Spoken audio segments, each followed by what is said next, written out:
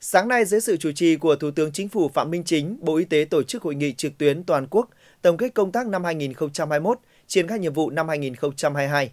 Dự hội nghị tại điểm cầu Yên Bái có đồng chí Vũ Thị Hiền Hạnh, Phó Chủ tịch Ủy ban nhân dân tỉnh. Tính đến hết tháng 12 năm 2021, Việt Nam ghi nhận trên 1,7 triệu ca nhiễm COVID-19, 32.392 ca tử vong. Cả nước trải qua 4 đợt bùng phát với mức độ dịch lây lan mỗi đợt phức tạp hơn. Trong năm qua, công tác phòng chống dịch đã nhận được sự quan tâm đặc biệt của Đảng, Nhà nước, đặc biệt là tinh thần trách nhiệm của các lực lượng chức năng tuyến đầu.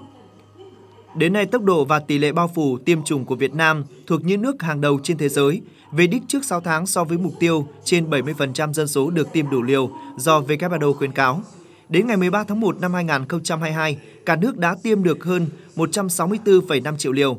Tỷ lệ bao phủ ít nhất một liều vaccine cho người từ 18 tuổi trở lên đạt 100% và tỷ lệ tiêm đủ liều cơ bản đạt 93,4%.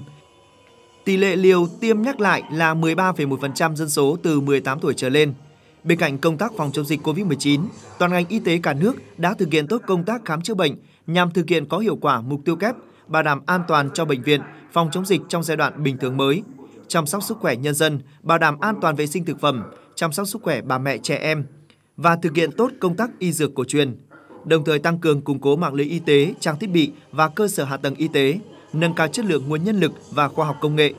Năm 2021, ngành y tế cơ bản hoàn thành các chỉ tiêu nhiệm vụ giải pháp được chính phủ giao. Trong đó, tỷ lệ hài lòng của người dân đối với dịch vụ y tế đạt 82%, tỷ lệ dân số tham gia bảo hiểm y tế đạt trên 91%. Những thông tin chi tiết về hội nghị, mời quý vị và các bạn theo dõi bản tin thời sự tối nay.